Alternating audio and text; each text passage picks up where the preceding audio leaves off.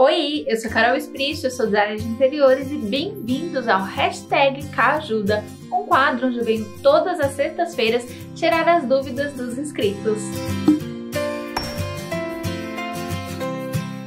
E como vocês já sabem, não esquece de deixar um like aqui nesse vídeo que eu tenho certeza que vocês vão adorar.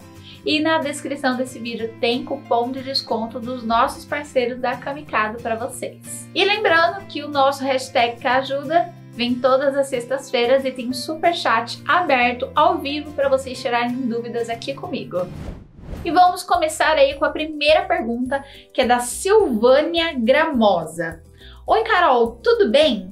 O buffet pode ser usado na sala como rack de TV ou fica feio? Na verdade, gente, a questão nem é a estética de ficar feio, e sim a ergonomia.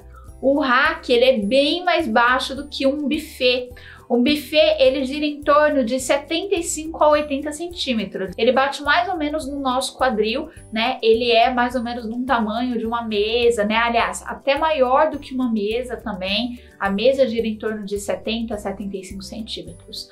E o rack, quando ele é um rack de chão, ele tem a média de 50 a 55 centímetros porque você vai colocar geralmente a TV apoiada nele e a TV vai ficar numa altura ideal para os olhos de quem está sentado no sofá. Então, o que, que acontece? Se você coloca um aparador ou um buffet no lugar do rack, ele vai ficar muito alto e você não vai conseguir assistir a TV direito, vai ficar assim, né? Olhando para cima, dá dor no pescoço, enfim. Então, ergonomicamente não é indicado. Eu trouxe uma imagem de referência rápida aqui para vocês. Aqui então tem um rack, né, simples com uma TV pequena em cima dele e a TV ela precisou ser inclinada um pouco para baixo para poder ter uma visão boa ali. Ou é o que parece aqui, gente, pelo jeito que foi tirado a foto, tá? Mas para você poder assistir, principalmente sofá retrátil, o que que acontece? A gente quase deita no sofá retrátil, né? A gente não fica sentadinho. Então a gente desce mais um pouco ainda e a TV acaba ficando bem alta. Vamos para a segunda pergunta, que é da Dri Nascimento. Oi, Carol, amo seus vídeos. Gostaria de tirar uma dúvida. Meu armário da cozinha é todo preto e marrom. Eu posso colocar uma mesa off-white?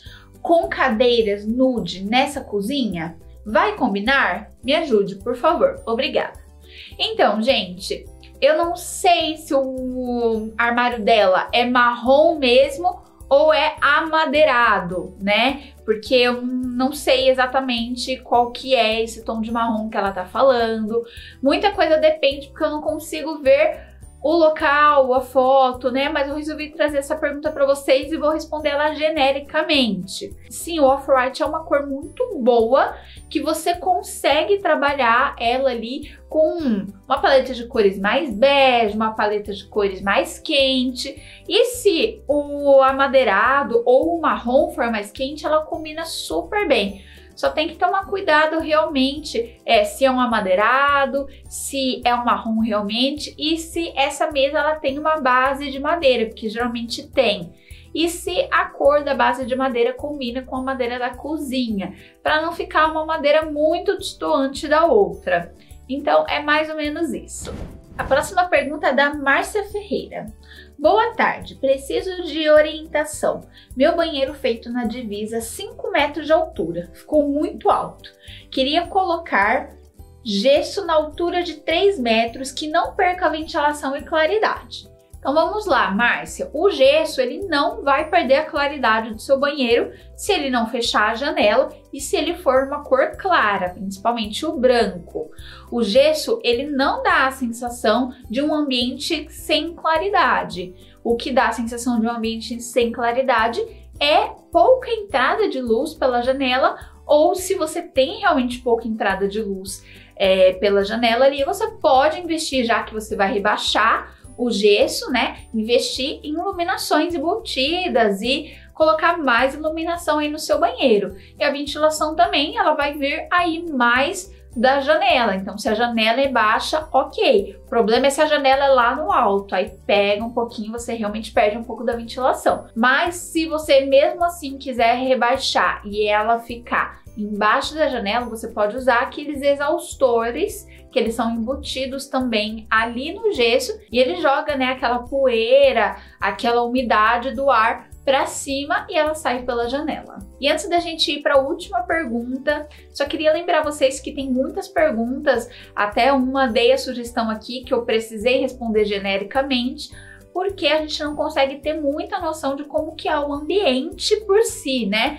Às vezes outros fatores também interferem, mas a consultoria eu vou conseguir olhar tudo, eu vou conseguir conversar com você, né, por videochamada, dar várias dicas, vários exemplos e eu consigo atender o mundo inteiro falando português. Então, se você precisa da consultoria, é só você acessar o site carolespris.com ou ir na descrição desse vídeo e entrar no link. Lá é só você agendar o melhor dia e horário para nossa consultoria. Então vamos para a nossa última pergunta, que é da Sofia Mana. O que acha de cozinha com MDF colorido? Acha brega? Eu não acho brega, gente. Eu gosto muito, mas precisa saber fazer também, né? É, precisa entender a paleta de cores, se essa cozinha ela é integrada com outros ambientes da casa e essa paleta de cores precisa conversar com os outros ambientes. Então, assim, não adianta você ter uma paleta de cores na sala, outra na cozinha, os dois ambientes serem integrados. Então, tem que tomar cuidado. O que acontece que tem muita gente com medo de colocar cor na cozinha é que geralmente a cozinha você vai fazer ali planejada, colorida e aí pode ser que você enjoe dessa cor e não consiga trocar por, por ser um móvel ali que é planejado e fique muito mais caro de você trocar a cor. Esse é o medo de muitas pessoas, mas para quem gosta, eu falo também que é para quem tem personalidade, que ela fala, eu quero uma cozinha colorida, eu quero sair do óbvio, é uma pessoa que ela não tem medo, né, de investir em cores. E para quem gosta de cores, mas tem o medo, vocês podem fazer a pintura de alguma parede da cozinha, enfim. Mas eu trouxe duas imagens para vocês verem como fica bonito cozinha colorida e pode ser sim muito elegante. Essa primeira aqui é uma cozinha bem clássica, mas bem moderna ao mesmo tempo, que é um azul muito bonito, um azul meio petróleo, com os puxadores aí na conchinha. Esses puxadores podem ser trocados depois por um modelo que deixa a cozinha num ar totalmente diferente e a cozinha se mantendo ali no azul fica muito bonito. Claro que eles escolheram um estilo super clássico, com molduras nas portas, mas eles poderiam ter feito também um armário completamente reto que seria um armário super contemporâneo e ainda assim muito bonito. E essa segunda imagem, para quem gosta ainda mais de cor, traz um terracota aí, né? Na parte superior, na parte inferior, uma madeira mais clara, mas mesmo assim tem aí bastante cor, ficou bem chamativo e muito elegante. Ficou rústico, né? Principalmente por esses tijolinhos mais avermelhados no revestimento aí da parede, que combinam muito bem com o armário mais colorido no terracota. Bom, esse foi o meu vídeo de hoje, eu espero muito que vocês tenham gostado. Não esquece de se inscrever aqui no canal se você chegou agora e me segue, gente, lá no Instagram, que é Carol E desse lado eu vou deixar um vídeo que eu tenho certeza que vocês vão adorar. Um beijo e até o próximo vídeo.